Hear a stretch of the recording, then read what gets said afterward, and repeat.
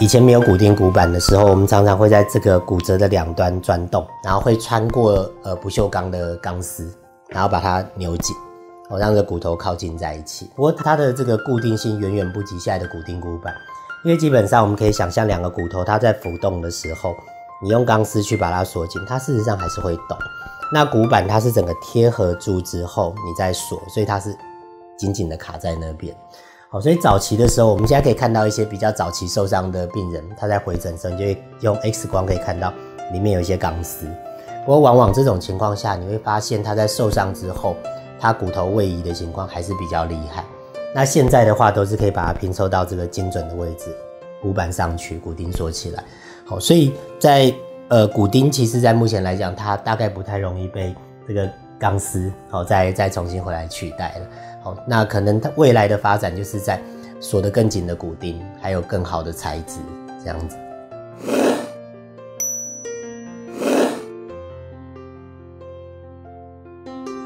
一般我们锁骨钉的地方，因为你钉子就锁下去了，所以那个地方骨头它是不可能取代钉子的。可是像刚刚讲的这个可吸收的骨钉骨板，因为它会分解掉，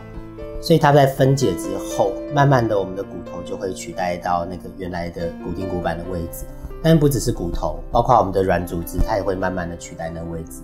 那至于是骨头先取代还是软组织先取代，这个其实没有办法去预测。一般我们在打这种不可吸收的骨钉骨板，大概百分之九十五的病人是不需要拿掉的。那至于少部分要拿掉的病，拿掉骨钉骨板，那它的原因主要是第一个就是感染。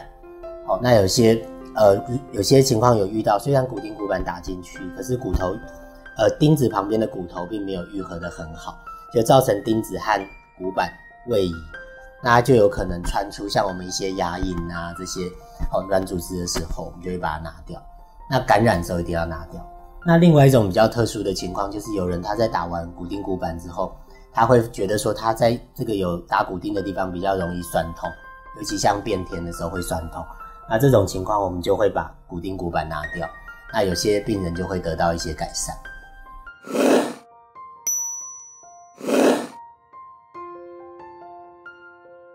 这位病人他是这个牙龈，好，就是我们讲的这个上颌骨、上颌骨的骨折，好，那我们就会打骨钉骨板。那如果要取出的话，我们一样，就是跟手术一样的位置，会把嘴唇打开来。好，把这个软组织把它分开，找到骨钉骨板，把它拿起来。那像这个的话，它是这个这个位置，我们可以看到它是在这个眼眶的固定。好，那一样，我们就是也是要从原来的伤口把它打开，把骨钉骨板拿出来。我就是事实上就是，呃，你怎么去打这个骨钉骨板，那它拿出来，就是同一样的伤口去做。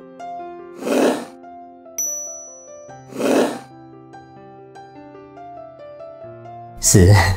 没有错。所以一般我们即使遇到呃轻微的感染，哦，或者是有一些不舒服，我们也会尽量撑到让它骨头愈合再拿。一般大概会建议是三到六个月来评估。有时候轻微的感染，我们会用口服的抗生素，哦，先去跟这个感染对抗。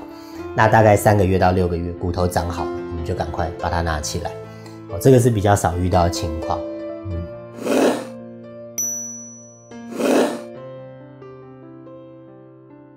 我们一般会遇到病人，他在颜面骨骨折的时候，他在骨头上面的软组织其实已经都遇到一些比较这个大的一个撞伤，好才会造成里面的骨折。所以一般在打完骨钉之后，短期内我们可能建议是先不要去压，因为怕有时候骨折位置在跑。但是等到长期，好，比如说两三个月之后，他的这个。骨头已经比较稳定了，我这时候我们反而会建议病人多去按摩，因为我们会希望他当时啊被撞击的这个软组织可以得到一个比较恢复到比较有弹性、血液循环比较好的状况。好，因为你如果不去按摩它的话，有可能比如说这边被撞到，这边没撞到，那这边未来就会比较厚，它软组织里面会有一些呃皮下的一些疤痕，所以这个要靠按摩的方式，好让它尽量的恢复到原来的状况。